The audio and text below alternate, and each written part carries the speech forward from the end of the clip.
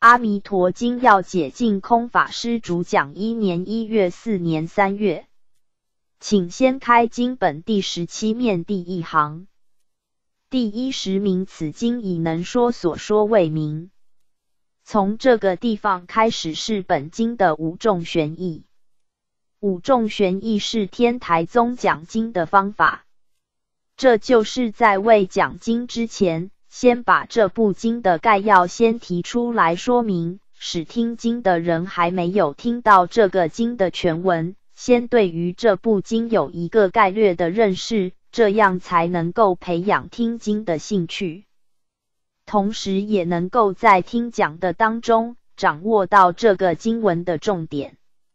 那么天台家用五个科目来介绍全经的概要，称之为五重玄义。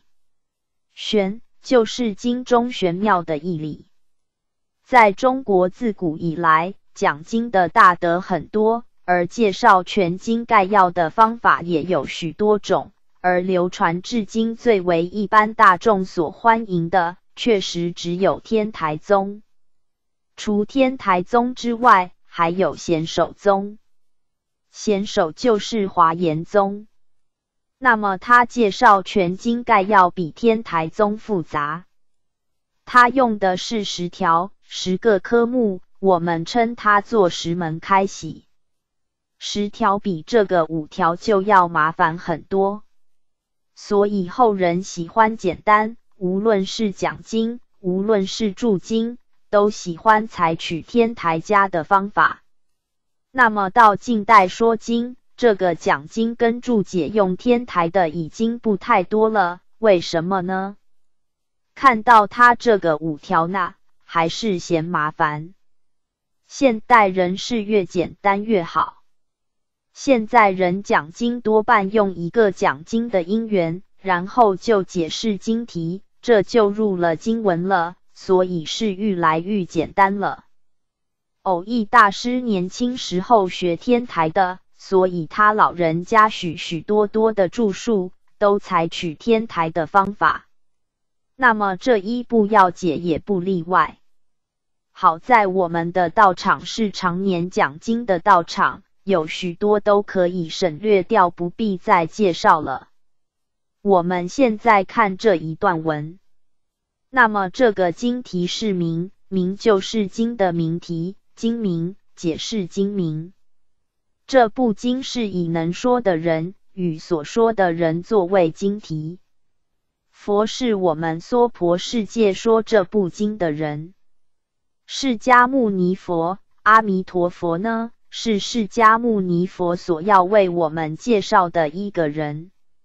所以这个经题里面呢是单人一题，七例选题在此的也不必多说了。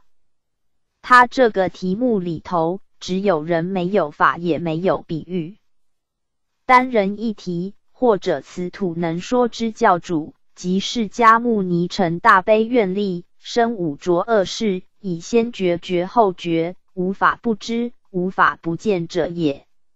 那么这是解释这个佛字，佛是此土，就是我们这个世界能说法的教主。这个地方的教士教学，是教人；主就是老师，教化主主持这个教学、创办这个教育的人。这个人呢，就是释迦牟尼。释迦是姓，牟尼是名。前面也曾经跟诸位同修提过，诸佛菩萨没有一定的名号，不但没有一定的名号。连一定的相貌也没有，这才称之圆满报身。如果这个佛菩萨身相只有一个相，那就不能叫圆满了。圆满是什么意思呢？正如同《楞严经》上所说的，随众生心应所知量。众生喜欢佛是什么相貌，看那个佛就是那个相貌。甲看的这个相貌，乙喜欢那个相貌，以看佛就是另外一个相貌。所以佛不但没有定名啊，